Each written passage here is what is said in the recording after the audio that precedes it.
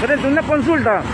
Para que ellos puedan recuperar su vehículo, ¿qué es lo que tienen que hacer? ¿Pagar una multa? Tienen que acercarse, tienen que acercarse al área de seguridad vial, con su defecto a la gerencia de transporte, donde tenemos orientadores que les están identificando ya la intervención, la infracción y el procedimiento correspondiente a, a seguir, ¿no? Y esta es- La idea no es sancionar, la idea es concientizar.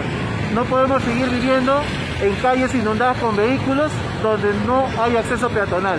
Los peatones tienen derecho, nosotros tenemos derecho a transitar por Libremente, libremente.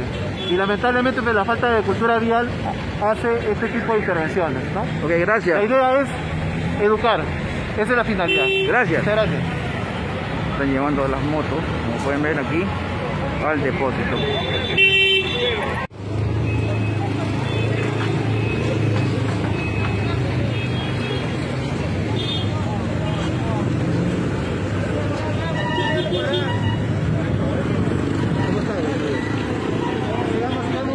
Motos retiradas en este momento por parte de los inspectores aquí.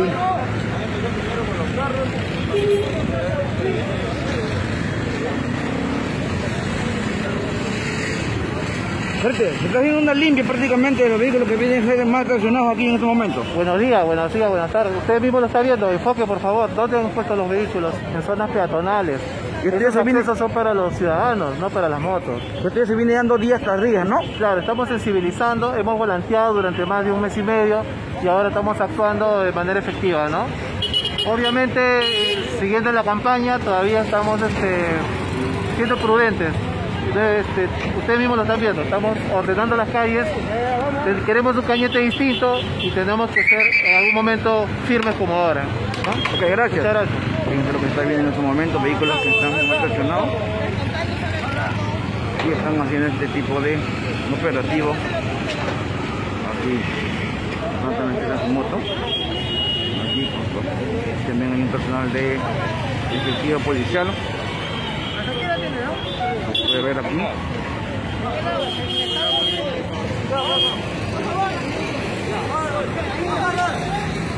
Ver. Maestro, usted también ha sido afectado. ¿Su moto también se la han llevado? ¿Cuánto tiempo estaba ahí parado su moto? No, ni 10 minutos fui al banco a pagar nomás. Nada más. Bien, es lo que vive aquí en este momento.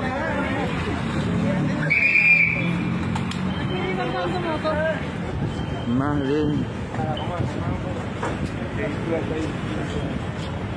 cerca de 10 motos han subido este camión por parte de la Municipalidad Policial de Cañete y van a ser derivados al depósito. Van a ser derivados al depósito, ¿no?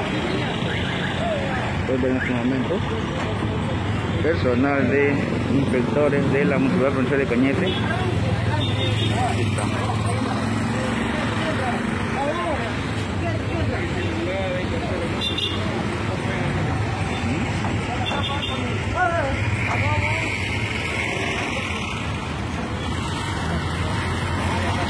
Frente, una consulta.